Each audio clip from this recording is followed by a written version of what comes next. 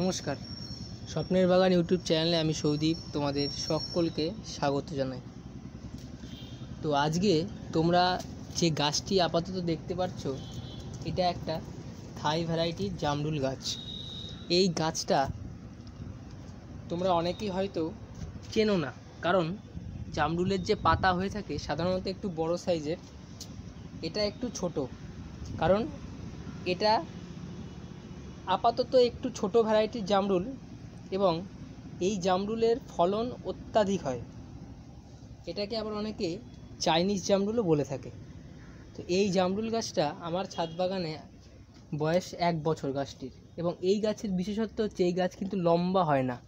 চারিদিকে ঝরিয়ে মানে একদম ঝাঁকড়া হয়ে যায়, ছড়িয়ে যায় চারিদিকে গাছটা। দেখো কি সুন্দর একটা বনসাই আকৃতি এসছে গাছটার। এটা একটা দশ ইঞ্চি সাইজের টবের মধ্যে লাগানো আছে।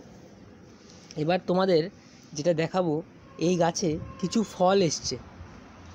এক বছর আমার ছাদ বাগানে এই গাছটি ছিল, কিন্তু কোনো ফল আসেনি, অনেকবার ফুল এসছে, কিন্তু সেই ফুল ঝরে গেছে। তো আজকে তোমাদের কিছু ফল এসছে এবং সে ফলগুলো পেকেছে। তো সেটাই তোমাদের সাথে একটু শেয়ার করব আর এই গাছের কিছু পরিচর্যা সম্পর্কে তোমাদের জানাব। দেখো, আমি দেখাচ্ছি। এই দেখো, এই একটা। এখানে দুটো ফল এসছে এবং এই ফলটা দেখে আশা করি তোমরা বুঝতে পারছ। খুব একটা কিন্তু বড় সাইজ না। এটা একটা মিনিয়েচার ভ্যারাইটিও বলা যেতে পারে, আবার একটা ডোয়ার্ফ ভ্যারাইটিরও হতে পারে। কারণ এর বিশেষত্ব হচ্ছে গাছটা ছোট হবে, ঝাঁকড়া হবে, ফলন হবে বেশি। আর এই জামরুল আমি একটা টেস্ট করে দেখেছি। আসলে লাল রঙের জামরুল তো দেখলেই সকলেরই খেতে ইচ্ছা করে।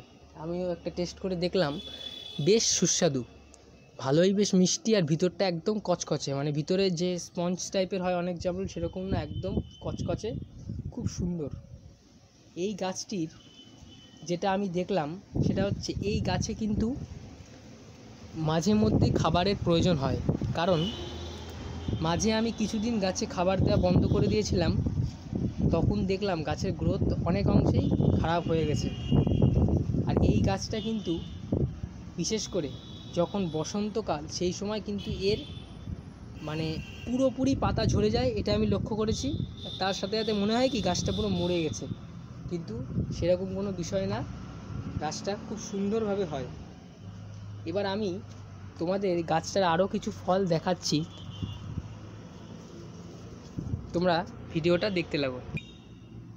দেখো বন্ধুরা, এই যে, এটা একটা থাইল্যান্ডের ডোয়ার্ফ ভ্যারাইটির জামরুল। এটাকে অনেকে চাইনিজ জামরুলও বলে। এই যে, জামরুলগুলো তোমরা দেখো। খুব একটা কিন্তু বড় সাইজ না, আবার খুব ছোটও না। মিডিয়াম সাইজের জামরুল লালচে রং এবং খেতে অত্যন্ত সুস্বাদু। এই দেখো, কত সুন্দর একটা গাছে ফল, ফলন এসছে। যেহেতু প্রথম বছর, হয়তো বেশি ফলন আসেনি, কিন্তু আশা করছি পরবর্তীতে আরও বেশি ফলন গাছটা থেকে নেওয়া যাবে বা গাছটায় আরও বেশি ফল আসবে। গাছটা কিন্তু খুব সুন্দর একটা। দেখো পুরো বনসাই আকৃতি। অসাধারণ। এবার আমি গাছটার একটু সাইড দিয়ে তোমাদের ঘুরে দেখাই। দেখো বন্ধুরা, এটা হচ্ছে গাছের ব্যাক সাইডটা এইবার ফলগুলো তোমরা ভালোভাবে দেখতে পাবে। এটা একটা ছোট ভ্যারাইটির ডুয়ার্ফ ভ্যারাইটির জামরুল। কত সুন্দরের ফলন, দেখো। আর ফলগুলো কিন্তু আরও লাল হবে। একদম টকটকে লাল হয়ে যাবে ফলগুলো।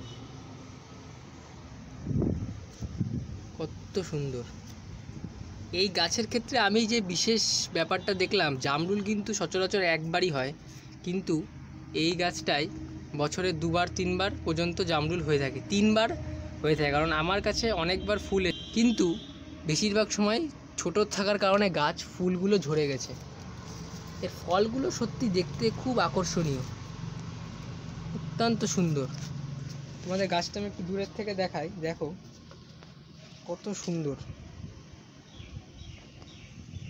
তো আমি আশা করব তোমরা অবশ্যই এই জাতীয় একটা গাছ তোমাদের ছাদ বাগানে লাগাবে।